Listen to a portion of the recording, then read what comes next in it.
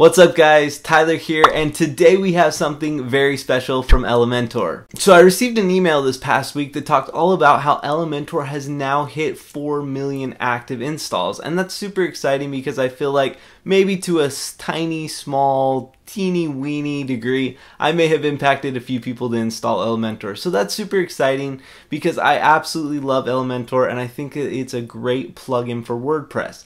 If you guys don't know, you can go and check back on my other videos talking all about what is Elementor and how to use it and how to implement it into your site. But essentially, Elementor is just a plugin you add to WordPress which is kind of like an infrastructure on a website. So it's a plugin that you add in and you can just drag and drop and build websites. Super easy to use, super simple. They have a free version and a paid version, but it's just overall a great plugin. So in reading this email, it was super exciting to see that they finally hit 4 million active installs. They talk about how they're now ranked somewhere in the top 10 list of top 10 plugins for WordPress. And it's just overall a really exciting time for them. But the cool part is, is that they reached out to their audience and their users and they asked what features they would like to see coming up in their next launch and their next versions of Elementor. And the results came back with this. Dun. So as you read in their blog, you can see a lot of different features got a lot of different votes here. But what was the top ranked one is steps for forms. And honestly, I think this is a super awesome feature and I think it's going to help a lot of people, especially as I've talked about in other videos how we're somewhat replicating the ClickFunnels process. This is a super unique feature that ClickFunnels has that not a lot of websites have or not a lot of website builders have, but that's something that Elementor is going to start developing. Now, I think this is super exciting because as we read down here in their blog, it says that these multi-step forms are known to increase conversion rates and have a higher completion rate. So if you have forms on your website that you're trying to collect information, you know, and, and you have a lot of different steps in there, maybe you need, you know, name, um, birthday, address, all kinds of different information, and you have just field after field after field after field, it can be super intimidating to a user when they go to your page and they see it, they have to fill out this huge, like, you know, it's like all the paperwork that you have to do when you go into like a doctor's office. You're like, holy cow, this is before I can even get seen. There's like all these papers. So that can really intimidate users, especially when people just get to your website for the first time. However, if you have a multi-step form, that allows you to break these fields into different steps. So let's say, you know, you get to the website and to opt in for this, whatever your offer is, they just have to put in their name. Okay, they just put in their name. Okay, the next question is their birthday. Okay, they can do that. Just put in their birthday. And then the next question is, okay, where am I, where are you going to ship it? Okay, their address. So that makes it a lot easier for the user and also it's just much less intimidating. And that's super nice because that helps your conversions, it helps your completion rate, and it's really going to overall help your customer experience. So I'm super excited for this feature and there are two things to note. They haven't really mentioned a release date for this. They released quite a few features in 2019, but they haven't mentioned if this will be a 2020 launch or sometime in the future, but I would imagine sometime in the next year or so we'll see this feature come to fruition.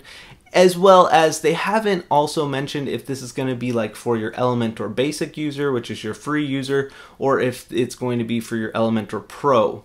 And um, speaking of Elementor Pro, I've been using Elementor Pro a lot lately, uh, specifically to design one website in particular, and it's helped me so much.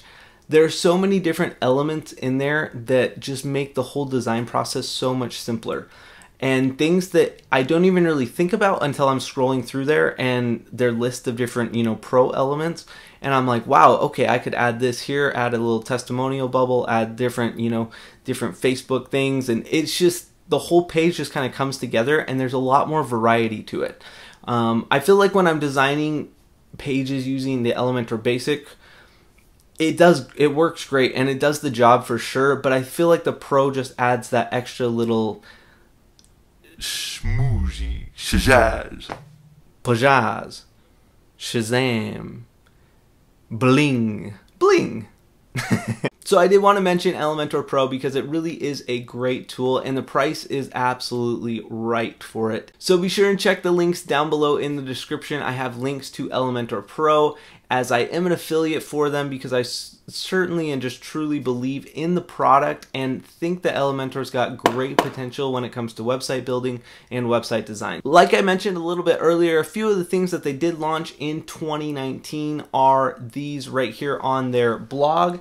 They have the pop-up builder, motion effects, hello theme, monthly template kit, table of contents, advanced query control, icon library, pro gallery, color picker, and the notorious dark mode. so I do just want to mention one thing about the pop-up builder. The pop-up builder has been such an awesome tool. This is an Elementor Pro only feature, but this tool has been absolutely incredible. I've used oh, I don't even know, probably like five or six pop-up builders on WordPress before, just different plugins, trying, editing, altering, having to edit like pretty much a lot of their main like structure and framework through CSS code or styling code. It's been like an absolute pain.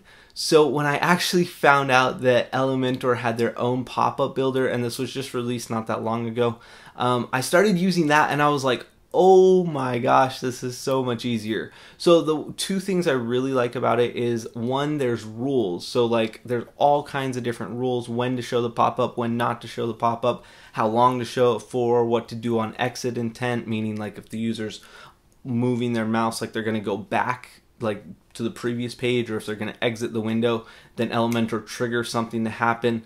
that Just tons of great options and features and rules that you can establish for this pop-up. But then not only that is the design is just so easy. Just I mean just incredible. I literally all I did was just drag and drop a title drag and drop a video like a YouTube video and dropped it right in. And then you know you can add like a MailChimp um, like embedded opt-in form right at the bottom. And and that's pretty much it. I mean just like that you have like a video pop up with a with a opt in, and it's like holy cow, that took me like 10 seconds to do. So that's really cool. I also integrated Wistia. If you guys have ever heard of Wistia, um, Wistia is like a video platform where you upload a video and you can actually do, which is actually super cool, um, play part of a video and then pause it and collect an email address and then resume the video. Um, and you can force that to like be required to collect the email address, meaning they can't finish the video if they if they don't put in their email address or just continue on, you know, as an option to collect email addresses. So that works great for a pop-up too. If it, they like get it popped up with, you know, here's a video right here ready to be played and it's all about you know something that they're interested in and they start playing it for like you know 20 seconds and they're like oh this is awesome and then all of a sudden a little pop-up says hey to finish the video you know give us your email address and we'll keep you informed about all these type of products like how awesome is that? So super easy, super super easy. It integrated. I literally just dragged an embed code from Wistia, added you know a title and a button with Elementor, and that was it. It, it was just so simple. So if you guys are looking for a pop-up builder, um, definitely check out Elementor Pro. Like I said, the link's down below in the description. But not just that, I mean, honestly, a good pop-up builder is probably going to cost you around the same amount that Elementor Pro does for the year. So it's your choice, but Alright guys, so that's all I have for you about this brand new feature that was just announced by Elementor, the multi-step form. Like I said, and like we read in this blog, I believe this feature is really going to increase conversion rates as well as completion rates on our forms. So that's super exciting for us as Elementor and web designers in general. So be sure and check out the link down below if you think Elementor Pro and that pop-up builder or any of the other features that Elementor Pro has could benefit you and your website. And be sure and like this video and subscribe. I would greatly appreciate it. And we will catch you guys on the next video.